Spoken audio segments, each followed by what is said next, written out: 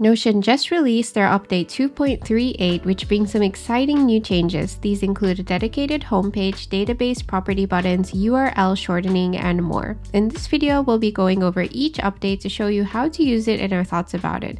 If you find this video useful, be sure to like, subscribe, and turn on the notification bell.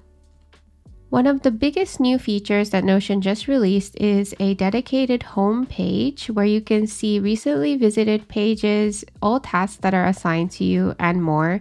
And this is particularly exciting because in Notion, it's been really difficult to combine multiple databases in one. Pretty much impossible to do that. But in some ways, Notion has achieved this through their tasks, which are assigned to you. This is one way to see all of your databases in one space if it's a task that's assigned. We're really excited for this. We can't wait to try it out ourselves. This should be rolling out to people in the next couple weeks. We hope we can also do a deep dive into this later.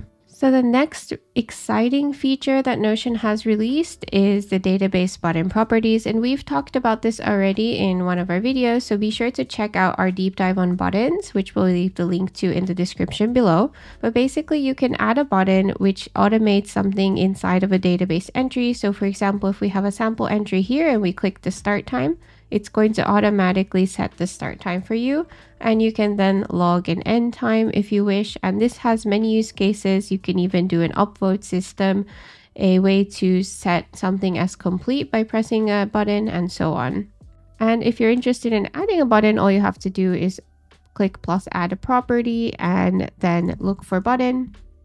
And you can simply create a button like this as a database property Another exciting feature for mobile users is that you can now use the notification as a space to reply to comments, which is very useful if you're on the go. So we highly recommend this as well. Another exciting feature is that you can now shorten URLs. So if you go to the URL property and you go to edit property, you can now have the option to toggle and toggle off show full URL. So as you can see, the shortened URL looks a lot cleaner like this, but you can still see the full thing when you click on it.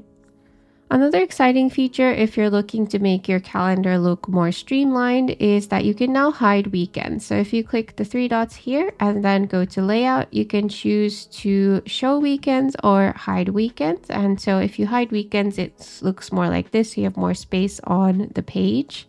And this also works in week mode as well. So if we click here and choose layout to show by week, you can now see the weekdays. So some other new things that they've released is that you can now import from monday.com. Another small but very exciting feature is that you can toggle off database entry icons. So let's say that we have entry here. And if we open this up, it used to be that if you type something inside here, you would see this mark saying a page icon. And this looked quite ugly if sometimes you write inside but sometimes you don't write inside the page. So now you can actually click the three dots here go to layout and you can choose to hide page icon so as you can see, this is a much cleaner look and this has been something that people have been requesting for a long time. So we're really excited about this one. You can also now change the color of a button and this is another really cool feature. So we put a slash button and you want to change the color of the button. You can simply go to the six dots on the left hand side and choose color. And let's say, for example, we want a red button if we're going to archive something, for example, and now we have a red colored button. You can also change the text color as well here. So this is very nice that you can do both text color and background color for buttons.